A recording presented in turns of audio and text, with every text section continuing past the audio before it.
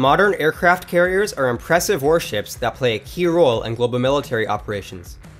Although they are not particularly well suited for combat on their own, they are invaluable assets because they serve as mobile air bases that can be deployed just about anywhere around the globe. There are approximately 50 aircraft carriers currently in service around the world, and they are owned by 14 individual countries. Incredibly, the United States Navy owns 24 of them, which is nearly half of the global total.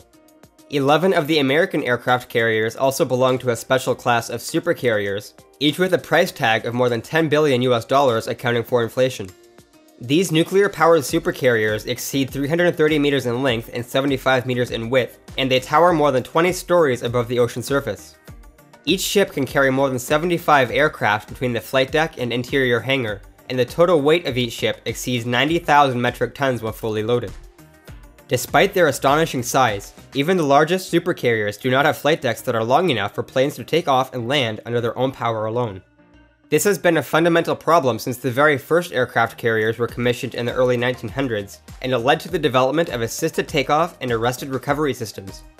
Prior to World War II, the United States and other countries experimented with a number of systems that utilized technologies such as gunpowder, flywheels, gravity, and hydraulics. Up until the end of World War II, the hydraulic systems were most common on aircraft carriers, but this changed in the 1950s when the Royal Navy introduced the first steam-powered aircraft catapults. Steam catapults quickly became the method of choice for assisted takeoff, while hydraulic systems remained in use for arrested landings, and these systems are still widely used today. The 10 Nimitz-class supercarriers of the United States Navy are all equipped with these systems, although the Navy does have plans to replace this fleet with a new class of carriers that will use electromagnetic catapults. The first ship of this class is the Gerald R. Ford, which was commissioned in 2017 following heavy criticism of the new electromagnetic system, which has been reported to have a probability of critical failure that is 9 times greater than the traditional steam-powered system. The United States and other countries have also adopted alternatives to assisted takeoff and arrested recovery, such as ski jumps and short takeoff and vertical landing aircraft like the Harrier jet. Nonetheless, this particular video is going to focus on the engineering behind the steam catapults and hydraulic arresting systems that are used on the American Nimitz-class aircraft carriers. The flight deck on each of these ships is equipped with four 100 meter long catapults. Two are located at the front, or bow of the ship, and two are located on the left, or port side of the ship. The two catapults on the port side cross an angled runway, which spans from the back, or stern of the ship, all the way to the front of the port side. The runway is angled like this so that pilots can abort a landing and take off again, without running the risk of crashing into planes and personnel at the front of the ship.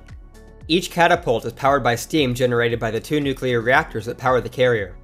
Prior to a launch, the steam is collected under high pressure in a large accumulator tank that is located underneath the catapult. The pressure inside the accumulator is monitored by the catapult officer as it is filled, and a flow control valve is closed once the desired pressure is reached. The catapult officer is commonly referred to as a shooter, and they operate the catapults from a small control pod that protrudes above the flight deck. The steam power that is required for each launch depends on the weight of the aircraft, and the maximum operating pressure is around 3.2 megapascals, or 465 psi. As the accumulator is being pressurized, an aircraft is positioned at the beginning of the catapult, and a jet blast deflector is raised behind the aircraft by hydraulic actuators to protect equipment and personnel from the jet blast. A tow bar on the nose gear of the aircraft is connected to a shuttle that protrudes through a slot in the flight deck, and a metal bar called a holdback is secured to the back of the nose gear to hold the aircraft in place until the catapult is fired. The shuttle is attached to two spear-shaped pistons that run inside parallel steel cylinders with open slots in the top. These cylinders are positioned just below the flight deck in a long trench, and they run the entire length of the catapult. Flexible strips are used to seal the open slots in the cylinders to prevent steam from escaping, and the shuttle assembly simply bends the strips out of the way as it travels down the length of the catapult. The shuttle assembly is also fitted with wheels that run in a track between the cylinders and the underside of the flight deck. Just behind the shuttle, there is a mechanical device called a grab that travels along the same track. This grab can be moved along the track by a hydraulic cylinder and a system of cables, and it is used to retrieve the shuttle from the end of the catapult following a successful launch. After the aircraft is connected to the shuttle, a hydraulic tensioner is used to push the grab forward slightly, which in turn pushes the shuttle and moves the aircraft forward in order to eliminate any slack in the system. When the pilot is ready for takeoff, they throttle their engines to full power, however the holdback initially prevents the aircraft from moving forward. As soon as the catapult is fired by the shooter, a launch valve in the accumulator is opened, and the steam surges into the two cylinders. The force from the steam pushes the pistons forward with enough force to break the holdback, and the shuttle accelerates the aircraft forward towards the bow of the ship. The catapult is capable of launching a 20 metric ton aircraft from 0 to 265 km per hour in just 2 seconds, while the pilot experiences nearly 4 Gs. For reference, this is more than twice the acceleration that you would experience on the world's fastest roller coaster, Formula Rossa at Ferrari World. To accomplish this, the catapult needs to exert around 750 kilonewtons, or just under 170,000 pounds of force. At the end of the catapult, the spear-shaped pistons plunge into a water brake that consists of water-filled cylinders, which brings the pistons and shuttle assembly to a stop. This also triggers a sensor which closes the accumulator launch valve and opens an exhaust valve to release the spent steam. The grab is then moved to the end of the catapult by the hydraulic system, where it latches to the shuttle and pulls it back to the starting position. This marks the completion of a single launch cycle, and the next aircraft can be moved into position to start the whole process over again. At peak operating efficiency, the flight deck crew can launch two aircraft every 40 seconds using the four catapults on board. Although the mechanical systems of the aircraft catapults are quite complex, the takeoff procedure is relatively simple from the perspective of the pilot. Landing a plane back on the flight deck, on the other hand, is far more difficult and requires a great amount of skill from the pilot. There are three to four steel cables called arresting wires that span the width of the landing runway at the stern of the ship, and the pilot must catch one of these cables using a tailhook that is deployed from the rear of the aircraft. It is necessary for the aircraft to approach the runway at a precise angle in order to accomplish this, and so an optical guidance system is used to help guide the pilots in for landing. The guidance system is comprised of many lights and lenses that are mounted adjacent to the runway, and the pilot will see different colors and patterns depending on the angle of their trajectory as they approach the ship.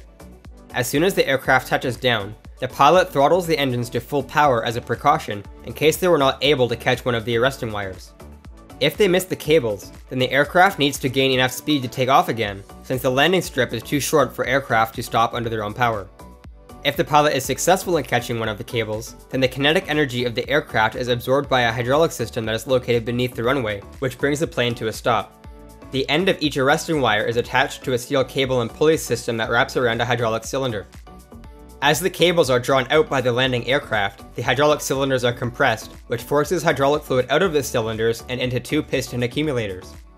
The pressure inside the accumulators increases as they are filled, reaching a peak pressure of about 4.5 megapascals or 650 psi just before the aircraft is brought to a complete stop.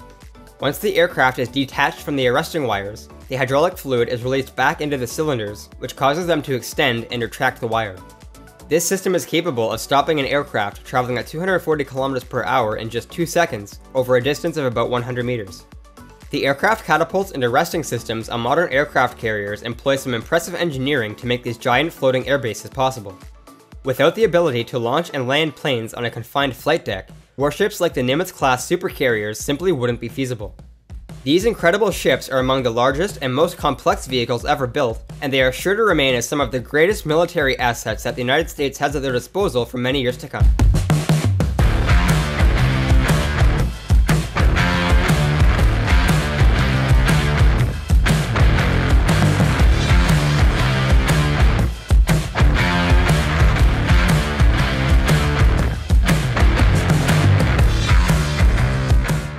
If you enjoyed this video and you have a passion for learning, then I highly recommend that you check out Skillshare.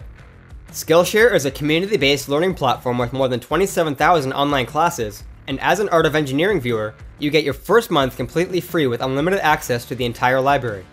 Whether you want to sharpen your photography skills, learn a new programming language, or find out how to invest in the stock market, you are guaranteed to find high-quality courses that suit your interests.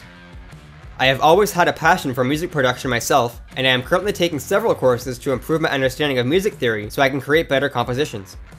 Other online learning resources often require you to purchase individual courses, sometimes for hundreds of dollars each, but with Skillshare, you get unlimited access to thousands of courses for only $8.25 per month.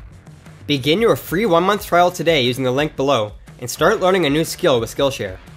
Don't forget to subscribe if you want to see more engineering videos from this channel, and please consider supporting me on Patreon, where you can get early access to videos and other content. As always, thanks for watching, and I'll see you in the next one.